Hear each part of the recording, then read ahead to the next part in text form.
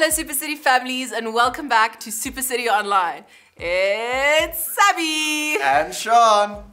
One of the greatest things about being part of God's family is that we never have to do things alone.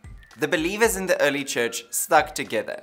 They ate and prayed together. They helped each other when they were struggling. Other men and women saw how these believers lived and wanted to be part of what God was doing. God's family still works like that today. We work together on God's mission, taking care of each other and sharing the good news. God loves the lost. He wants them to be saved. He wants the world to know Him. And we get to be part of God's mission. We get to share the good news. Some people are afraid to share the good news. They worry that they won't remember everything or that they'll say the wrong thing.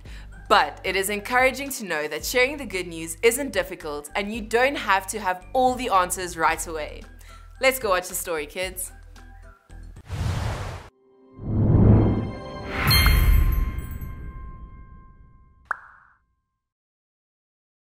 God's story Peter and the other believers. So, remember how part of God's story is about a guy named Peter? Well, it goes like this Jesus had given Peter and the other disciples a special job to tell everyone about his rescue. The Holy Spirit had come to give them power, but they didn't do this job alone. In fact, everybody who believed in Jesus stuck together. They shared with each other, ate together, prayed together, and praised God together. They gave to people who were in need. Every day, other people saw the way they loved each other and took care of each other like a family or a team. And every day, more people decided to follow Jesus. The Holy Spirit did miracles through them too. Like one day, when Peter and another disciple, John, went to the temple. There, they saw a man who couldn't walk begging for money. Peter said, I don't have any silver or gold, but I'll give you what I do have. In the name of Jesus Christ of Nazareth, get up and walk. The man stood up and not only walked, but also jumped and praised God. And he was just one of many people who were healed in Jesus' name. The disciples kept showing people that Jesus really is the rescuer. Now, this probably sounds great, and it is, but guess what? Not everybody liked it. In fact, some people didn't believe Jesus was the rescuer. They didn't want anybody else to believe it either. So they treated Peter and the others badly. They put them in jail and even beat them. But the disciples were still joyful. After all, Jesus had suffered and died for them. They considered it an honor to suffer for him. No matter what, the disciples taught people about Jesus and kept praising him and honoring him. They never stopped telling people that Jesus is God's Son, the rescuer God had promised for so many years. And because they bravely told more and more people about Jesus, we get to know about Jesus and follow him today. And that's part of the story of Peter. So, in case you missed it, here's the quick version. Peter and the disciples had a special job. They worked as a team. The Holy Spirit did miracles through them, like healing a man who couldn't walk. They told everybody about Jesus. Some people got mad. The disciples got in trouble. They kept sharing the good news of Jesus' rescue. And that's a part of God's story.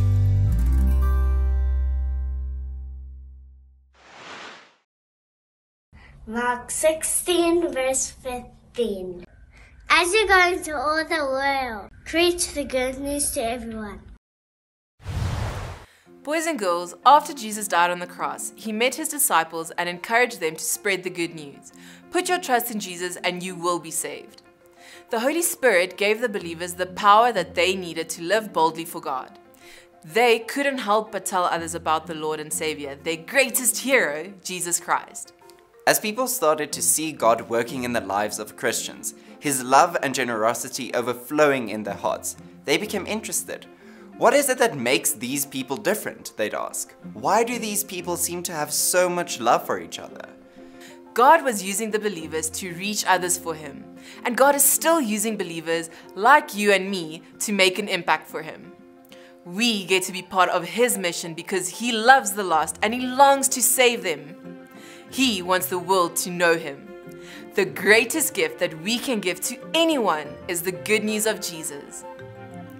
Boys and girls, if we think of a puzzle, every piece is important and every piece forms part of the final picture. The good news about Jesus is the same. If you talk to someone, you don't have to share everything about Jesus with that person straight away. God can work in their hearts little by little using the things that you and the other Christians around you share with that person. God starts to piece all the good news together in your friend's heart. God can do mighty work in their life, and you get to play a part in that. In the Bible, Peter wrote to the believers saying, Always be ready to give an answer to anyone who asks you about the hope you have. Be ready to give the reason for it, but do it gently and with respect. When Jesus saves you, the Holy Spirit starts to work in your heart, changing the ways that people around you can see. Boys and girls, before Jesus saved me, I was going in the wrong direction. I was doing things my own way. Sin was in charge of my life. If you want to live with God, you have to be perfect. That's because God is holy, and the consequences for sin is death. That's the direction that my life was heading. One day, I heard about Jesus. He lived a perfect life. He never sinned, and even though he was completely innocent, he stepped in and took the punishment that I deserved. He took my place by dying on the cross and he gave me his righteousness. He made me right with God. Look at this, boys and girls. Since Jesus saved me, he started working in and through my life. He has completely changed the direction that I was going in. Now, because of him, I get to spend time with God in heaven.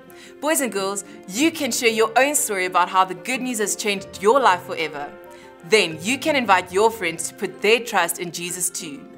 They can believe that Jesus died on the cross to rescue them from the punishment of sin. They can trust the Holy Spirit to help them overcome the power of sin as well. Mark 16, verse 15. As you go into all the world, preach the good news to everyone.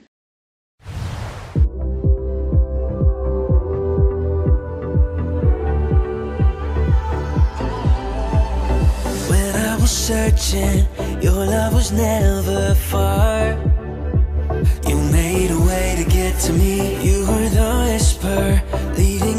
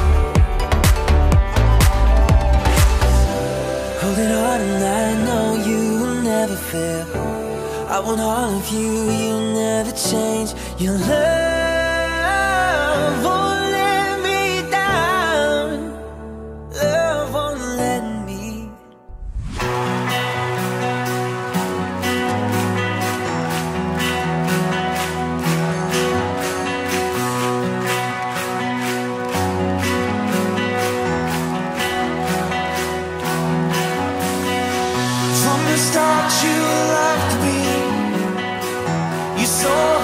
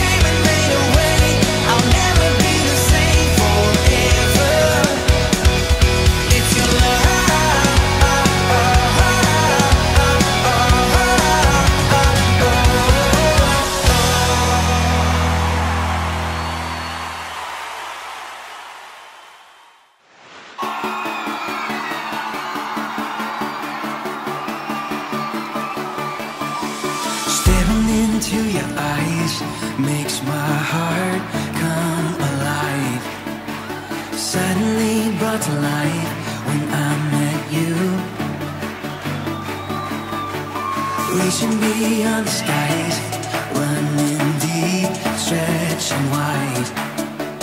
Perfect love realized, here with you. Now. Now this love is for real, you will never let go, never let go.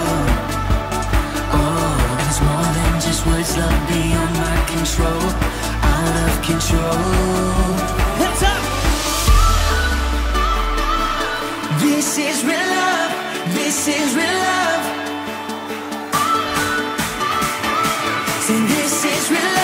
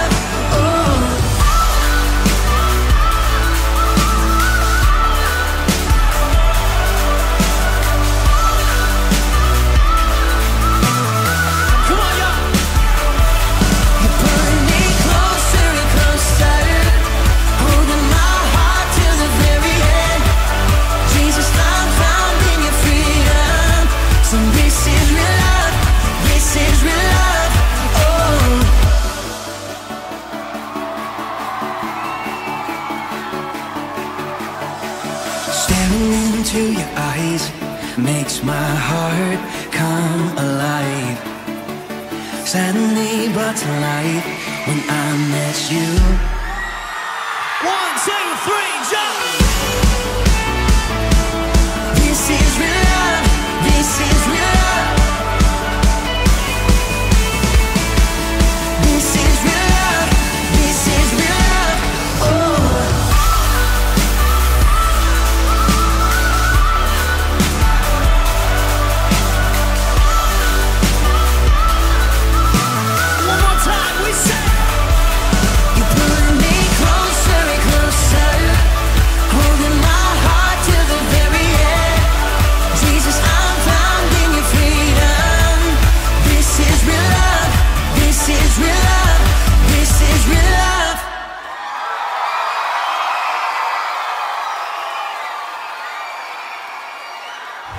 Thank you for tuning in, boys and girls, and that was the last lesson in our series of God's mission. We hope you feel ready to go out and spread the good news. We'll see you again in term four. Bye!